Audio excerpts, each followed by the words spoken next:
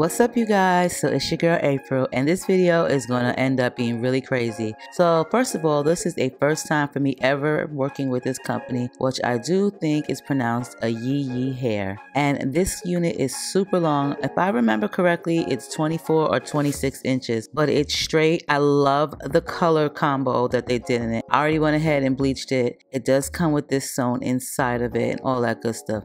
But while I cut the lace off of the nape, I'm going to show you how your unit comes from from a Yee hair.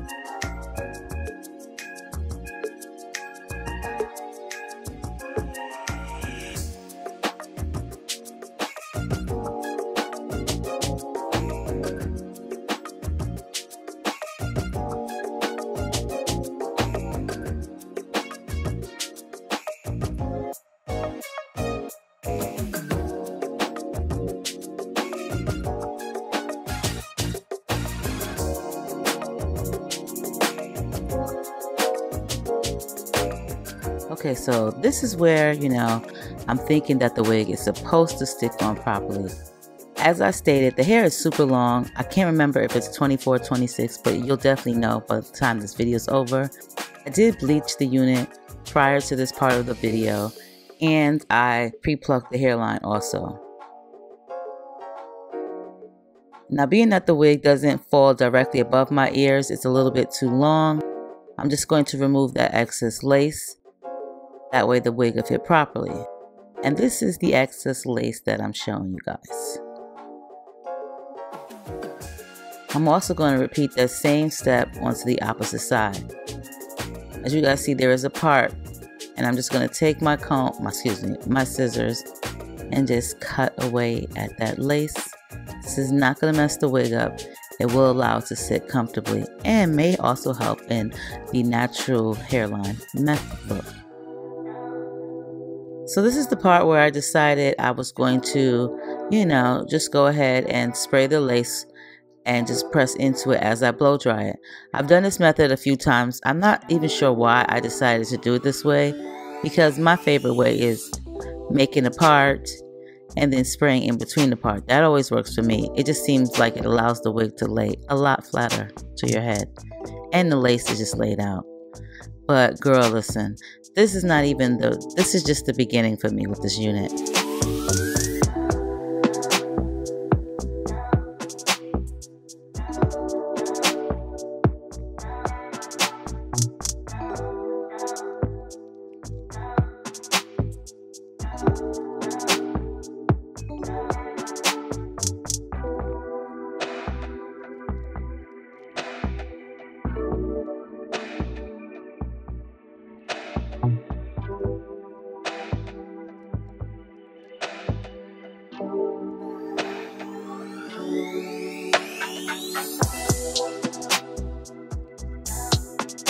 Now, because the hair is so long, it seems like it was just tangling too much because it was just so long and the density of it is really nice. Like it's not thin, you know, they didn't they did not skimp on the hair. It's a nice density. I love a nice full wig, but because it's so long, it did tangle a little bit much for me. But I really like the highlights the way they did they did them. Except for there's a little patchy spot I did notice right there as I'm brushing that it could have been blended in a little bit better.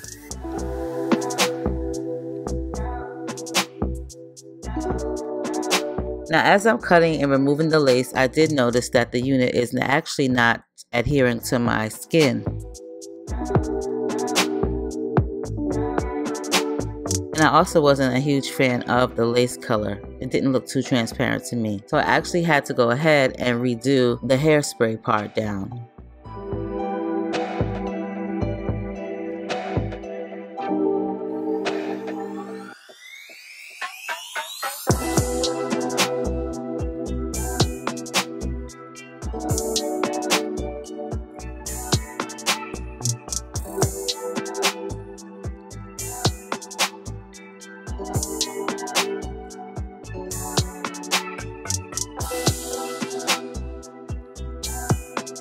I also took my favorite styling mousse, which is from the Dollar Tree, to sculpt my baby hairs or my sideburn hairs into place. And once again, I'm just going to go ahead and cut the lace on the forehead part and just go into just melting it, or at least trying to.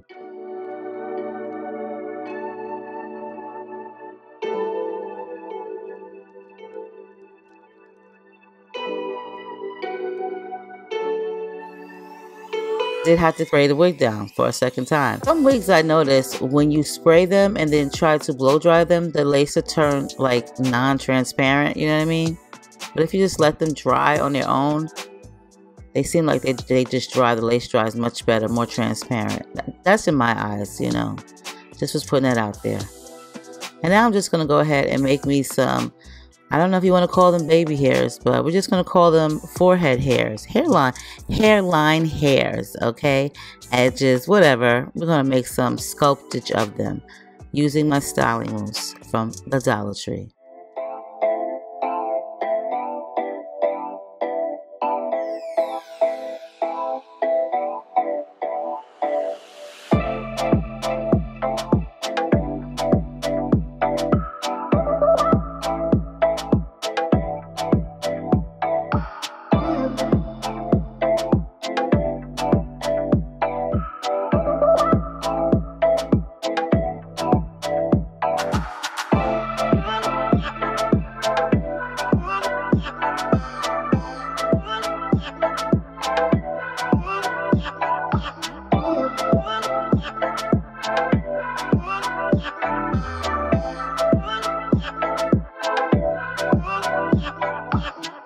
All right, you guys. So now there's the part where I'm just going to put some curls into this, you know, just to stand away. I'm just going to show you on one side, but I, I, I try to make them big curls because I really didn't want to sit here forever to do this.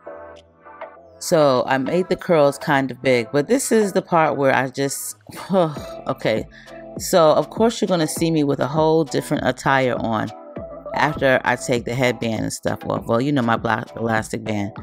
The very last file on this, um, on my memory card, ended up being some type of weird data file or something. There was no way for me to retrieve it, so I had to do the last part over.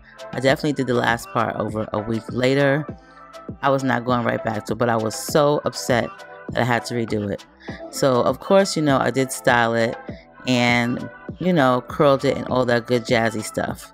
And like I said, the hair is extra long, the density is beautiful but it was tangling a little bit for me, like in certain areas until I was able to brush it out. Now, I thought the baby hairs looked kind of cute right there. Girl, I think they look rather cute. And then this happened.